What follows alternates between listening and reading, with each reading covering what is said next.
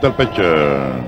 Rolling por el campo corto. Germán hacia adelante. La tiene el tiro. Auto en primera. Listo allá. Se impulsa el lanzamiento. Le tira un bound. Por el pitcher recoge el tiro. Tira alto y. Hernández fue firmado por los Yankees de Nueva York como agente libre aficionado el 2 de junio de 2000 con un contrato de 4 años y 4 millones de dólares. Manny Ramirez facing Adrian Hernandez.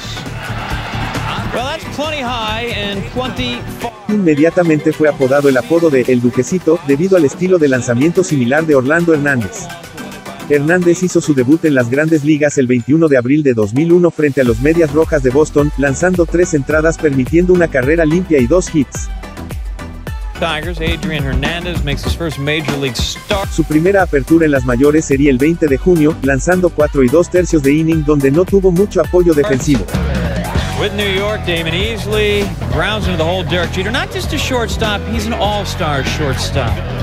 He's out. Bottom of the fifth, though, the defense gets a little loose. Shane Halter facing Hernandez, and that's a double play ball that Alfonso Soriano boots, and Jeter can't help him out on. Air on Soriano.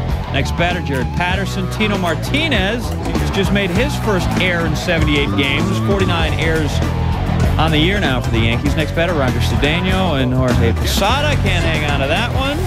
They ruled out a pass ball. Juan Encarnacion scores. It's 2-1 Tigers. Bottom six. Ramiro Mendoza in. Encarnacion again. Rips it, and that's going to get down long enough for Rob Fick to score. Dean Palmer to score. Encarnacion's RBIs 35 and 36. The Tigers win it by a count of 5 to 2. Chris Holt, just his second home win.